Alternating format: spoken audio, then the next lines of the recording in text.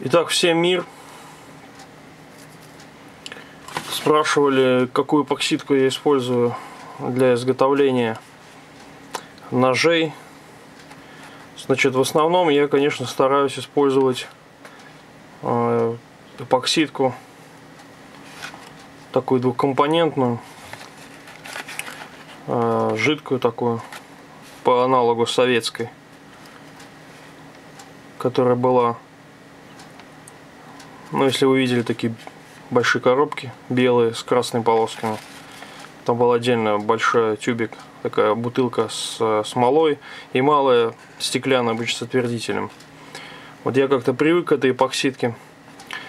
И потом со временем попробовал несколько. И вот остановился вот на этой эпокси титан. Вот из, той, из тех эпоксидок, что доступны у нас в магазинах, мне вот эта эпоксидка больше всех нравится, потому что и по прочности, и по своим ну, стойкости. Конечно, вот здесь говорят, что эксклюзив, вот если посмотреть, вот, эпокси эксклюзив, что она прочность соединения больше, чем у этой эпоксидки. 300 килограмм на сантиметр квадратный жидкий металл. Вот. Но мне, в принципе, вот эта эпоксидка тоже очень нравится. В принципе, я тут тоже пробовал. Э, был там у меня нож. Такой китайский выживальщик в кавычках. Он развалился. Я сделал две. Ну, точнее, одну сначала такую цельную рукоятку из березы. Она развалилась. И потом я ее залил вот на этот эпокси, эпокси э, эксклюзив жидкий металл. И она очень быстро, э, ну не то что даже очень быстро стала, она, она очень надолго стала рабочим ножом там у племянника, которым долбал все, что только можно. Вот, в итоге так до сих пор и не сломал. Хотя там уже, по-моему, сама деревяшка пошла с трещиной, и поэтому нож до сих пор еще работает, но я думаю, что когда-нибудь уже в ближайшее время он развалится. Ну, короче говоря, мне нравится вот этот вот клей.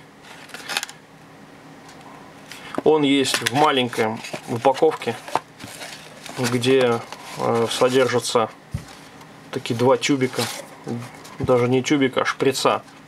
А это такая увеличенная упаковка, 10 доз я ее называю ну и не только я вообще, ну так примерно на 10 замесов ее должно хватать. Вот я, например, э, с этим 100 мл здесь, 100 здесь, то есть в сумме 200. Вот с этими составами двумя, да, я сделал вот один нож и ножны. Потому что там был э, пластиковый вкладыш, я его укрепил эпоксидкой. И внутри ножен тоже укрепил эпоксидкой, чтобы когда вставлялся, клинок не цеплялся там за место стыка.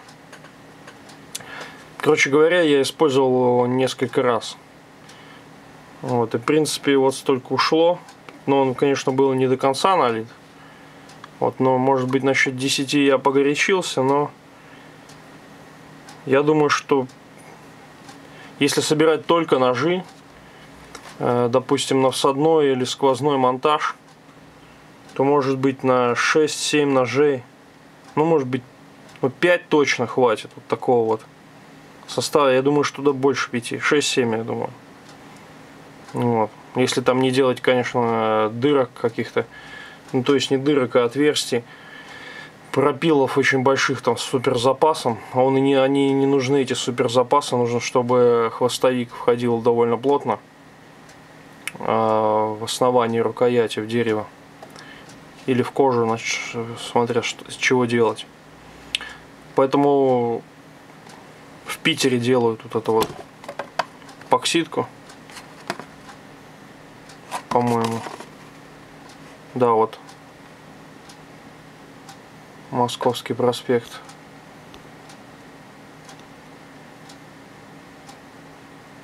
Дом 57. Поэтому мне лично вот очень нравится эта эпоксидка. Стоит она не так дорого, рублей 200, по-моему, такая коробка стоит. Она продается практически в любых магазинах хозяйственных. Конечно, хотелось бы там использовать американскую и так далее, но не всегда ее можно найти, не всегда она под рукой, ее надо где-то заказывать, ездить, бегать за ней. А вот этот, эта эпоксидка из современных, она очень хорошая. Вот и нож, который я на ней собирал, вот из последних на Скринкомансе, стабилизированные березы. Сколько я им батонил, батонил, долбал, ковырял, бил по рукояти, я боялся, что-то будет. Ничего не произошло, держит здорово. Хорошая вещь. Ну и, конечно, всем известный Поксипол. Вот. Поксипол, на самом деле, мне не очень нравится тем, что как холодная сварка он вообще не подходит.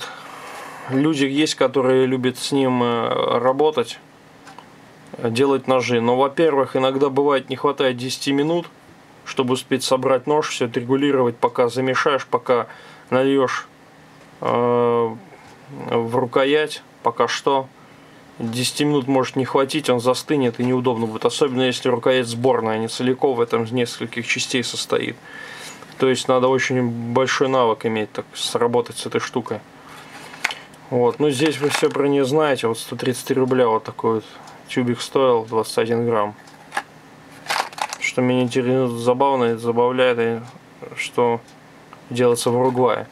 Что мне не нравится вот в этой штуке, то что она очень сильно отстает от поверхности, которая ну, там не обезжиренные или какая-то ерунда там попала на них.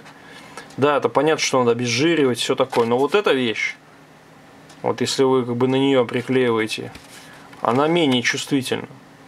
А здесь, если вы там тем более к металлу будете прилеплять, обязательно надо насечку делать, обязательно еще что-то там придумывать, то есть вычищать.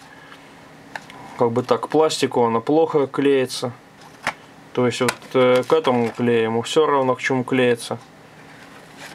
Здесь э, пластик она плохо держит, раз отваливается. Ну и много других у нее там есть каких-то ну, неприятных качеств, которые выявляются при работе. Вот, а так, в принципе, если нужно что-то быстро подклеить, такое небольшое, на большой вес я не рассчитываю на этот клей. Вот, но что-то починить, чтобы держало. Металл зачищается, там вот, добавляется, и он держит. То есть вот, когда нужно, он выручает. Но особо как бы я не очень рассчитываю на поксипол. Потому что он действительно часто как бы подводил. Особенно, я повторюсь, что касается пластика. Э, каких-то вещей, связанных с бетоном. И связанных с определенными металлами. Вот. Поэтому вот вкратце рассказал, что сейчас использую. Если что-то новое добавится, я думаю, что расскажу об этом. Вот, спасибо за просмотр данного видео. Всем удачи и с Богом.